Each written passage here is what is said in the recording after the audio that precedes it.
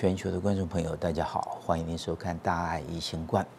我们对一个人的一个了解啊，有时候哎初见面啊不是很清楚啊，多谈几句话总是会了解多一点。但是更好的一个办法，就是从他的朋友，你跟他的一个朋友互动中，哎了解啊这个他朋友的一个个性，事实上物以类聚啊啊，对于它的一个整体的一个三 D 重现啊，哎就会掌握度比较好一点。譬如说，哎我们看细胞也是一样。如果看单一一个细胞，当然我们会得到一些呃这个呃组织学上、病理学上的一些讯息，这是一定会有。但是它整体之间的那样的一个呃这个呃结构呃，到底是不是跟正常呃有一些什么相关性，还是说它完全就是呃乱成一气的呃这样的一个状况的时候，这个都对我们对这个肿瘤的恶性度的掌握会比较好一点。这是胃癌。所以胃部做切片的时候，大家可以看到正常的时候，我们会有黏膜的组织会分泌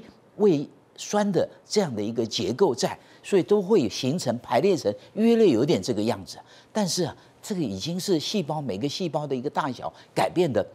呃，蛮厉害的一个状况。大家看到这里有的比较小，这里有比较小，这又比较大。呃，细胞质、细胞核里面的一个染色体的一个成分呢，事实上是变化很多。那除了个别的一个细胞的认知了解以外，你看这些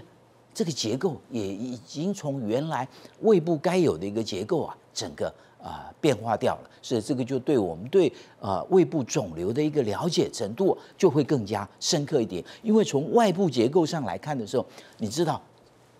它有一个肿瘤生成。但是你不知道它细胞恶性的程度在哪里，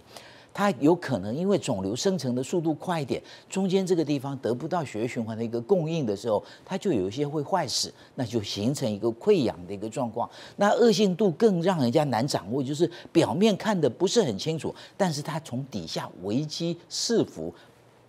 渗透在黏膜层底下的时候，那这个范围可能更大。所以内视镜。透过胃镜啊，我们可以看得清楚一点啊，了解它局部的状况是怎么样子啊。胃镜的一个发明啊，这事实上是跟日本人有密切的一个关系啊。所以日本的一个文化胃病是比较多的，压力很大。哎，但是他们对胃肠胃病诊断的功力啊，也就比较强一点。所以日本人呃，这个生活啊，我们知道他这个社会进步是很很。很让人家呃，这个全世界的一个指标的一个呃呃国家，但是人民的一个压力感啊，事实上也是蛮大的。所以每个国家都有它每个国家的一个辛苦面啊，啊，这个辛苦啊，所以辛苦的过程中，怎么去做一个生活的一个点缀非常重要。艺术画作就有这样的一个功能啊，这是十七世纪庶民经济啊，庶民画作，意思是什么？这个画便宜啊。所以，一般的民众在家里面也好，在公共场合里面也好，就可以把这样的一个画，这个是呃，这个呃非常有名的一个葛饰北斋，就是浮世绘的那个画家。那么，他把这样的一个嗯。民众在这个地方啊，呃，结果一阵风吹来以后，哎，他手上拿的这个东西啊，飘到天空去啊，这个伞也被吹到天空去的一个状况，哎，嗯，颠覆我们对日本人那个拘谨的那样的一个感觉。所以浮世绘给人家的一一个感觉就是，哎，他从另外一个角度去看人生，从哎另外一个呃思维，让我们感受得到，其实每一个人都是有他那份的一个真性情啊啊。女生回眸一顾啊，哎，用这样的一个身影来去呈现，这是另外一位叫林川呃诗轩的这个呃浮世绘的一个画家，从寻常的一个角落，你看看这样的一个日本人的一个呃生活面，去让我们多了解，那么他们之间从看这个画作中得到的一个共鸣就会比较多。呃，准备午餐的，呃不是午餐，野餐的那个状况啊。日本人也野餐呢，在那个地方，你看又很精致的把它围起来，哎，在这个地方啊，啊，这个大家可以啊互诉。那样的一个生活面的一个辛苦啊，所以对于呃这个平衡那种心情的一个不安呢，会有很大的一个帮忙。哎，这个服饰会很特别的地方，它就是用特殊的一个角度去看一件事情。我们平常很少会用这样的。你在车轮底下看这个狗的屁股，它就很奇怪；看西瓜皮，这很奇怪。哎，这是前景啊。可是哎。海洋里面的那个船只又这样子帆船呃点点的一个状况，所以从不同的一个角度去看这个人间的一个风光啊，这是也是浮世绘里面很特别。从马屁股里面去从这个角度去看街道人生啊，这也是很特别。好，那个呃另外一位呃这个浮世绘的画家叫圆山英举啊，哎他也很特别，他喜欢画什么？画鬼。